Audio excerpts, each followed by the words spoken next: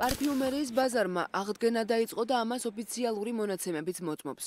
2022 წლის 11 თვეში საქართველოს 22 მილიონი დოლარის ღირებულების 827 ტონა სუნამო და ტუალეტის წყალი შეიძინა. ოფიციალური სტატისტიკის მიხედვით, სუნამოების იმპორტი წინა წლის ამავე პერიოდის მაჩვენებელთან შედარებით 11.2%-ით გაიზარდა.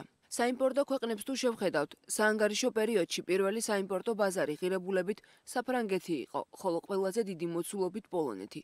აღდგენაზე საუბრობენ კომპანიების წარმომადგენლებიც და აღნიშნავენ, რომ 2022 წლის ტენდენცია და ახლა უკვე 2023 წლის დასაწყისი გასული 2 წლისგან რადიკალურად განსხვავებულია. პარფიუმერიისა და კოსმეტიკის მომწოდებელ კომპანიებთან ვითარება დაალაგებულია და ლოგისტიკის ჯაჭვებიც აღდგენილი. ყველაფერი წყობში დგება ნელ-ნელა ეს პანდემიასთან და ომთან დაკავშირებული რაღაც პატარ-პატარა პრობლემები ახლა ნელ-ნელა აღმოიფხრება უკვე ბოლომდე და ეს სადღაც გაზაფხულისთვის უკვე ველოდებით რომ ყველაფერი იქნება სტაბილურად ისევ ისეთი ტემპით გავაგრძელებთ როგორც მანამდე პანდემიამდე ხდებოდა, იმიტომ რომ პანდემიამდე მუდმივად იყო აი ესე წინსვლა ზრდა.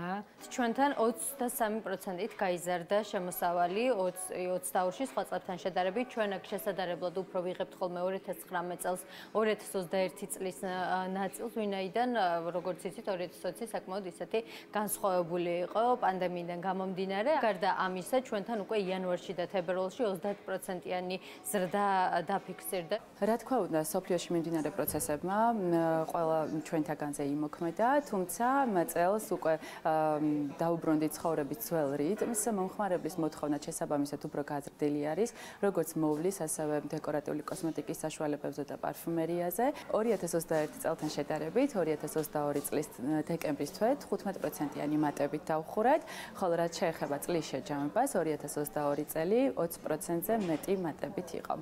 იყო პერიოდები, როცა დესტოკაშსაც ხედავდი ანუ თაროებზე და ეს არ იყო მარტო პარფიუმერული ბაზარი ბიზნესთან დაკავშირებული, ანუ რაღაცა პროდუქტები, რომლის დესტოკაჟიც თაროებზე ეხლაც შეინიშნება.